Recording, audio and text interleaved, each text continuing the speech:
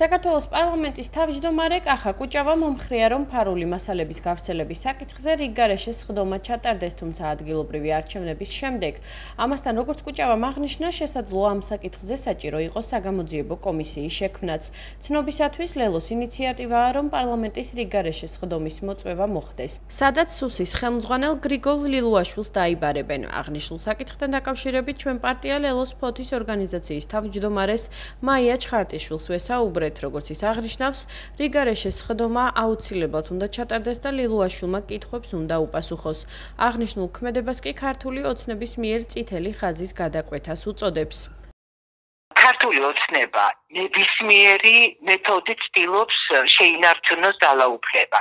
ყველაფერს აკეთებს ამისთვის. აი, აბსოლუტურად ყველა მეთოდი რაც კი არსებობს, გამოიყენა ერთადერთი მიზნით. არა იმისით, რომ ადამიანებისთვის და ქვეყნისთვის რაიმე სასარგებლო გააკეთოს, არამედ მხოლოდ იმიტომ, რომ ძალაუფლებაში დარჩეს და ამითი ასიამონოს მათ გურუს ბიძინა ივანიშვილს. ეს არის მათი ერთადერთი მიზანი. სხვა მიზანი არ ამოწევა და ამისთვის ყველაფერს იყენებენ. ის ფაქტები, რაც გავრცელდა დისკეთ უკანონო მოსმენები.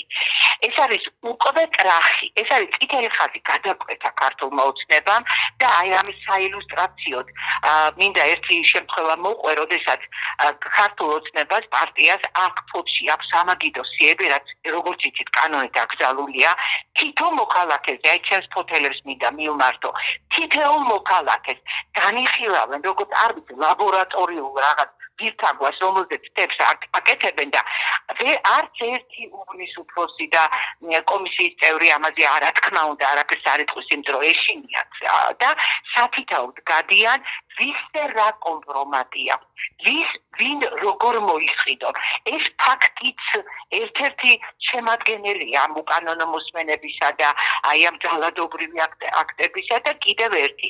ლელო იყო ინიციატორი რომ ბატონი ლილუაშვილი მობრძანდეს პარლამენტში და კითხვები დაუსვათ რიგარეშე საპარლამენტო ხდომაზე, ვნახოთ რას უპასუხებს, ვიცი რომ ლელოს ლიდერები და ბზადარიან უკვე რომ მაქსიმალურად მოახერხონ იქნებ რაღაცა ათქმები ნოლილუაშოს. შეგახსენებთ რომ ანონიმურმა პირმა, რომელიც აცხადებს რომ სახელმწიფო უსაფრთხოების სამსახურის ყოფილი თანამშრომელია, საიდუმლო მასალები გაავრცელა, რომლებიც სასულიერო პირებზე სავარაუდოდ განხორციელებული თვალთვალის ინფორმაცია შეიცავს.